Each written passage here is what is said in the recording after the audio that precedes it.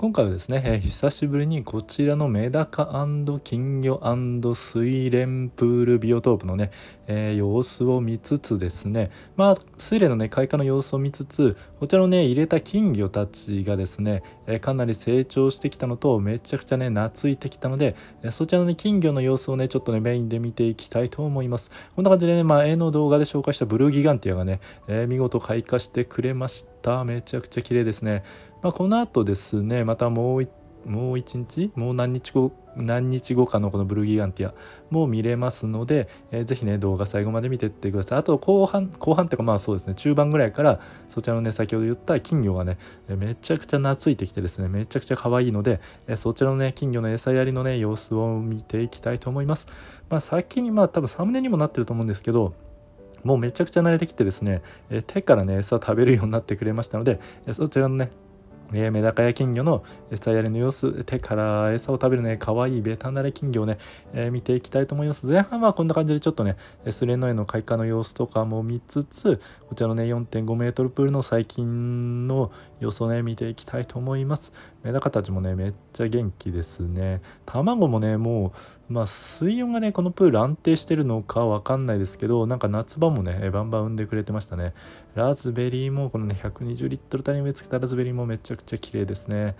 でこちらはウェディングドレスですね。ウェディングドレスもめっちゃ綺麗に咲いてくれてます。白のね八重咲きほんのりねクリーム色っぽくなります。こんな感じで大きさサイズ感分かりますかね。こちらね100均の調味料入れと比べてもこのねめちゃくちゃ大輪のね大きさが分かると思います。大輪の大きさ。うん日本語は変ですね。大きさがね分かると思います。で8月30日ですね。これがあれですね最後ニーフですね。でこの30日この日にですねこちらジャッカフォンの濃いタイプですね。まあ睡蓮のねこのいつもやってる、まあ、お手入れをしつつ、まあ、メダカとね金魚の餌やりをえ見ていきたいと思います。最初はこんな感じでちょっとね開花してるのを見ていきます。こちらねちょっと水替えしてたのでラズベリーが水没してますが見てください。これブルーギガンティア4輪咲いてますよ。これねめっちゃ綺麗です。これとかね多分開花初日ですね。開花初日のブルーギガンティアで奥のが多分もう2日目とか3日目ぐらいかな、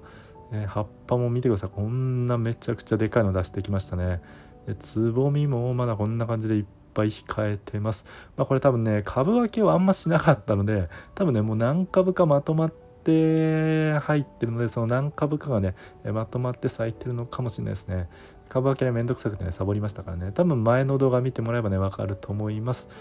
えー、多分ブルギガンテの植え替えみたいな植え付けのやつやってます。でこんな感じでまあこんな枯れたね葉っぱですね。これをねまあ一回結構ね除去してるんですけど本当にもうすぐ、えー、出てきます、えー、こんな感じで、え結構ねお手入れをしてます。枯れた葉っぱをひたすら除去って感じですね。でこのね枯れた葉っぱをね除去してるとですねこのメダカとかね金魚がねだいぶ懐いてきてですね寄ってくるんですよね。もう人の姿を見ると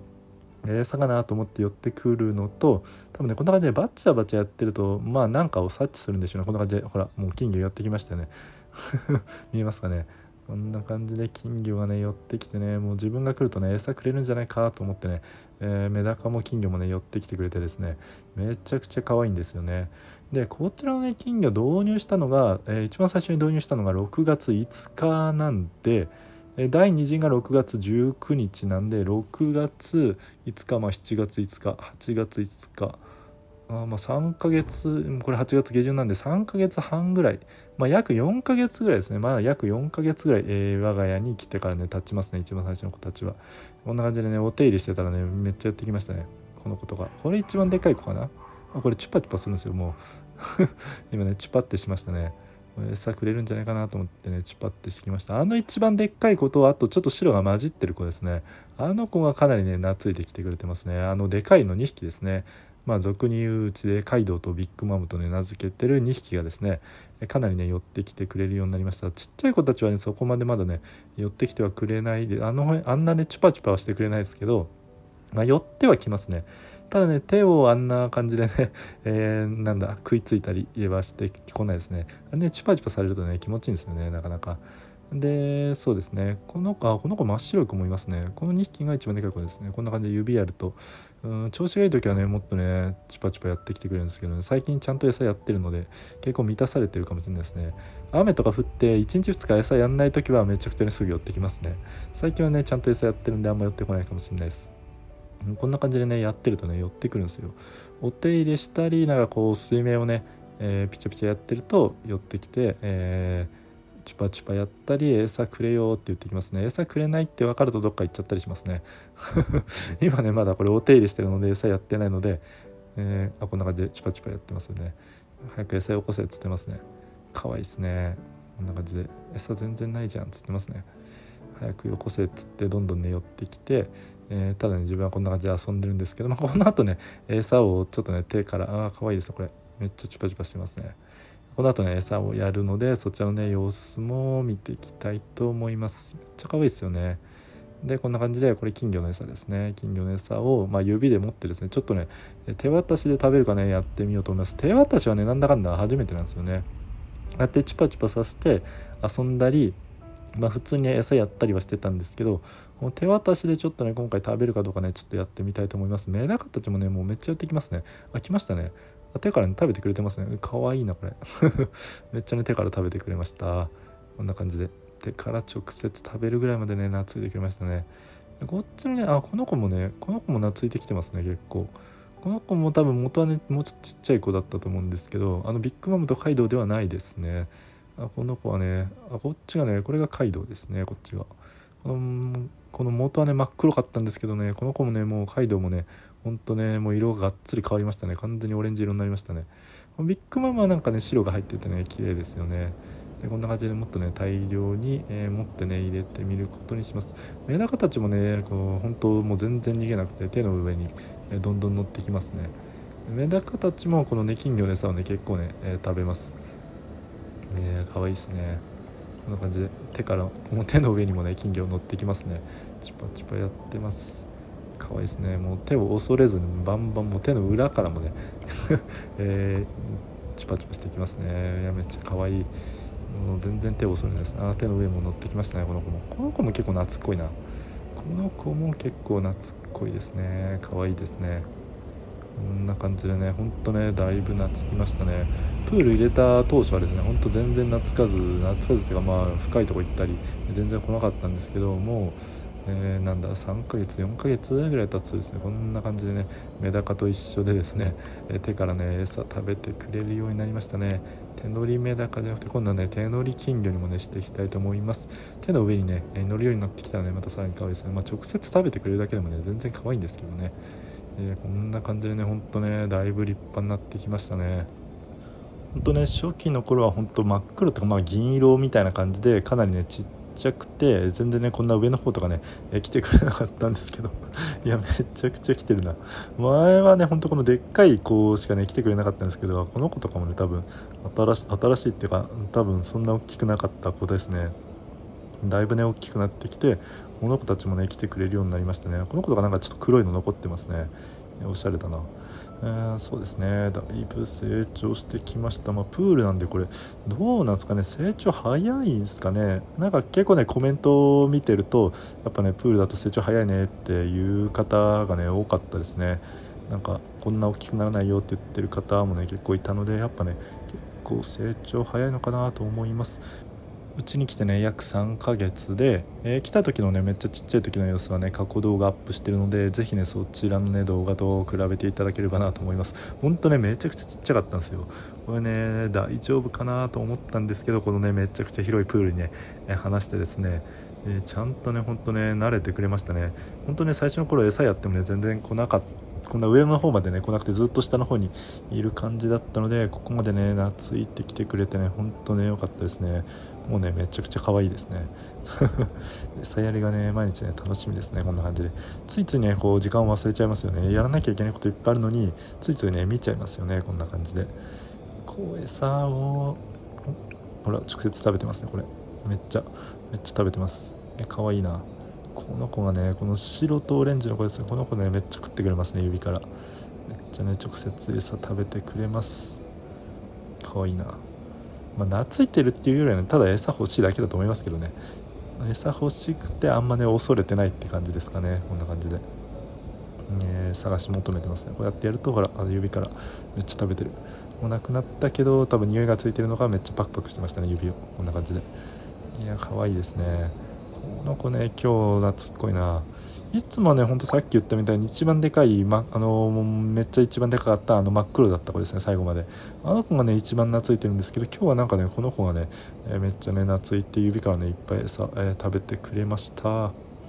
いやめっちゃ可愛いですよね。それねめっちゃ懐きましたよね。この指から食べてくれるのってねなかなか懐いたと思いませんか、えー、ぜひね皆さんとこもね、えー、金魚を飼ってる方いましたらねうちもね指から食べてくれるよとかチュパチュパしてくれるよとかあればね、えー、ぜひねこんな感じで、えー、チュパチュパしてくれるとかねあればねコメント欄でコメントいただけたらなと思います。あとまあ成長速度ですね。うちのところやっぱ早いよとか、えー、そうですね。水槽とかと比べると全然違うよとかねあればぜひねコメント欄で教えてください。だいぶでかいっすよね。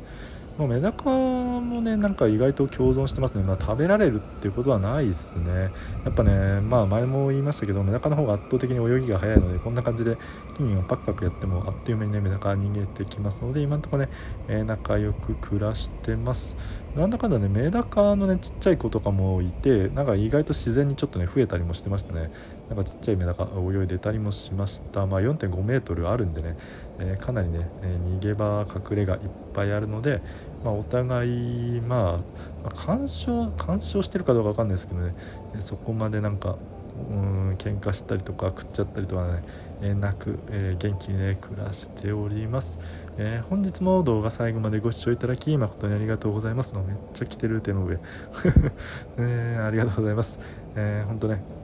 え皆さん一番コメントやグッドボタンありがとうございます。またねヤフオクでスーレンや水生植物、えー、購入してくださった方もありがとうございます。今もですねヤフオクでスーレン水生植物、えー、絶賛販売中ですので、えー、ぜひねヤフオク数の中スイレンビオトップ、え、検索してみてください。今ですねあの今年輸入したスイレンのえー、シーヌアンとか、えー、パープルゼブラですね。その辺のね結構ね珍しい睡蓮も、えー、株分けしたのでそちらもね今、えー、出品してますしちょうどね今秋になってきてまた睡蓮のね秋の植え替えシーズンということで結構ねいろんな睡蓮植え替えしてます。なんで、え、最近ちょっと販売なくなってた、え、なんだっけ、え、サイアムジャスミンとかペリーズダブルホワイトとかハイライトとかその辺のえー、前出してたけど、えー、やめちゃったけど、えー、また今回植え替えしたので、えー、スーレンね、え、出してます。ぜひねその時ね買いそびれちゃった方今ね、え、スーレンのね植え替え植え付けにねいいシーズンです、え、今ね植え付けてもらえばこの9月10月でちょっと成長してですね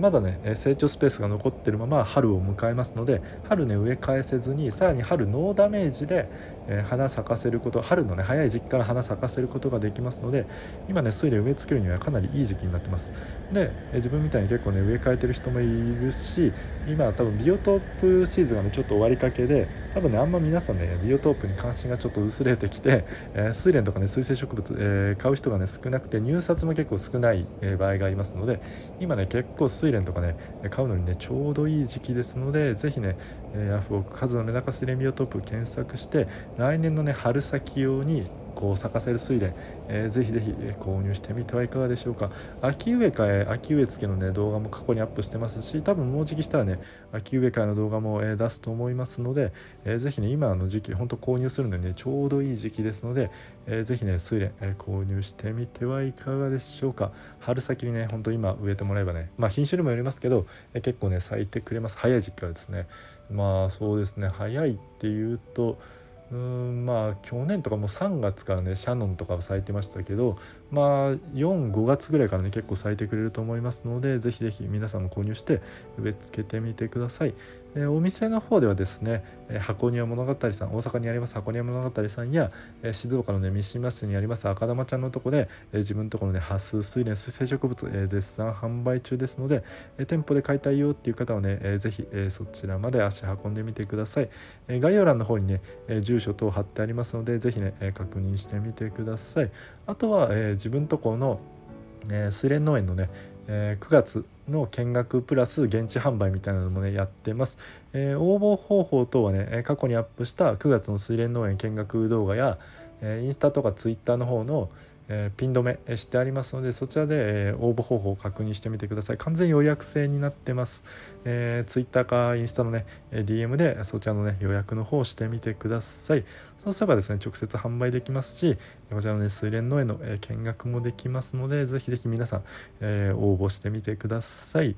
えまあそうですね。あと箱庭物語さんと赤玉ちゃんの方でもね YouTube やってますので、えそちらの動画で、え自分が行ったイベントの様子や、え赤玉ちゃんが自分のスレ農園来た時の様子なんかも見れますので、えスレ農園ね、え来たいなって思った方はねそちらの赤玉ちゃんの動画とかあとちょっと前にですね水蓮農園の見学ツアーの一例みたいな、え泊まりできた場合、まあ、泊まりじゃなくても日帰りでもね全然楽しめるんですけど、え水蓮農園プラス他の花鳥園とか静岡のね観光名所等もね、え詳しく解説設してますので是非ねそちらもご覧になっていただいてスレンの園赤玉ちゃんのお店箱根物語さんいろいろね行ってみてください。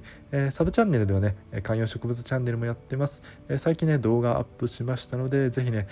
サブチャンネルの観葉植物チャンネルもね観葉植物男子そちらのチャンネル登録もよろしくお願いします。サブチャンネルの方はね動画かなり不定期投稿になってますのでベルマーク等をね押していただくと通知がいくので嬉しいです。ではまた。